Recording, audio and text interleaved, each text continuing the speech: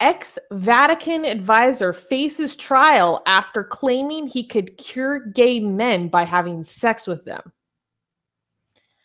Bringing you a news story that could only come out of the Catholic Church with just the levels of uh, uh, depravity and also hypocrisy and also what?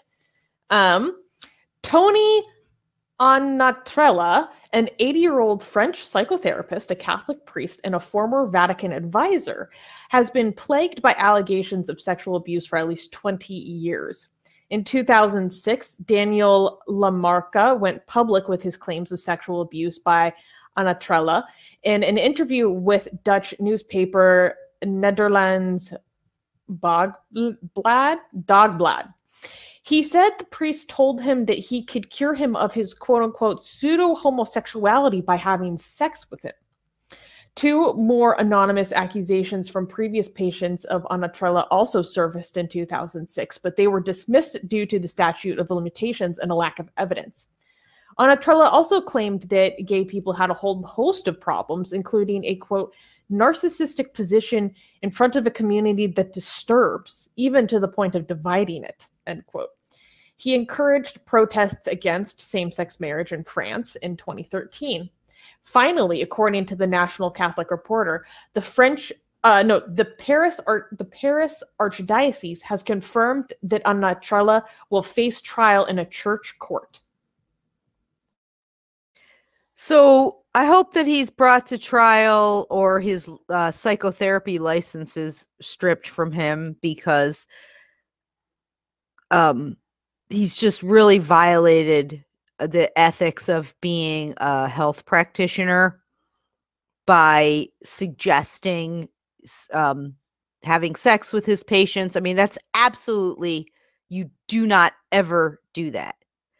And the fact that people have also, um, other people have, abu- you know, uh, charged him with uh, sexual abuse. So I hope not only does he face charges within the Catholic Church. But if he has a license, he's a licensed psychotherapist.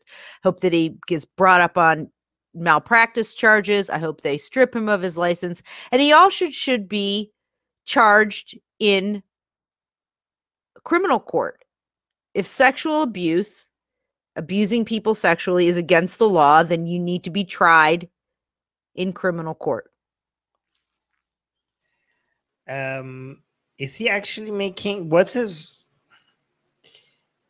quote unquote logic here? Like, is he making the argument that I'm so ugly that once you sleep with me, you would never want to sleep with another man ever again? Is that his uh, point? No, but I like your take oh. on it.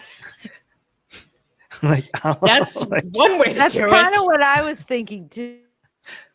Okay. It's, the, what is his you, argument? What is his argument if that's not a just do the age old creepy um doing body therapy aversion therapy or no like like he would use his body to cure their body with his like hands the and... laying on of hands and other extremities yes in a way that was also is that actually what he said or is like do you guys know? He does say body therapy but i want to point out that there was another allegation of abuse and this person was a former patient who was 14 years old. So uh, it's not just adults it's a pederast. Yeah uh, it's really bad. And it, it's just this i don't know how there are individuals like this. For example in 2005 tony anatrella was a key advisor to the vatican on the banning of gay men from the catholic priesthood. Like he a lot of i mean granted i'm just looking at his wikipedia so the highlight reel is almost exclusively in regards to same-sex marriage and homosexuality like in calling it like more damaging than Marxist ideology. Like this is his, I don't know. Uh, just this kind of stuff drives me crazy. Like when people use their own deeply internalized like trauma to then really screw up someone else's life because they can't just be honest with themselves and do the work to be okay with that. Also, um, homosexuality is not a disorder, according to modern psychological and and psychiatry standards. It's not a disorder. Now he can have his Catholic views, which are reprehensible, which is that it is objectively disordered. Right. Their language. But as a psychotherapist, not only is he violating the ethics of his profession, he's also not adhering to the standards of his profession as a psychotherapist. Um, I just want to highlight the fact that there is nothing in Christianity that teaches this, right? I would just want to be fair here. However, I still blame Christianity for creating environments where these things are protected, and also behavior like this keeps popping up um, in religious institutions on a per capita basis, more average than other people. Religious environments, um, immunity from sin because of, uh, well, I mean, being able to wipe out sins through religion, uh, feeling like you have moral authority to decide what's right and wrong, and creating an environment where people trust you with um, based on credentials that doesn't shouldn't be making you trustworthy. Religion in those ways gives rise to situations like this. So even though there is nothing within scripture uh, that excuses this, like people want to defend Christianity, they could point out that Christianity doesn't teach that this is allowed.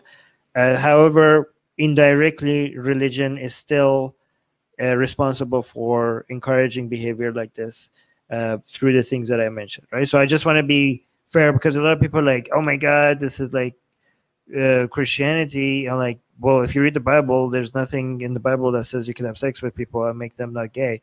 But again, I still blame religion because of the things I mentioned. All very cogent points. Hey guys, if you're a fan of Blasphemy and Sexy Callie, you know, like me, then you need to be sure to subscribe to our newsletter. Link in the description below because if you subscribe, we will send you a free copy of our Blasphemous Art ebook. And let me tell you, it is the tastiest blasphemy that you can find anywhere available today. And we are so generous with our blasphemy that we continue to send you more blasphemy every week. So make sure to subscribe. Link in the description below.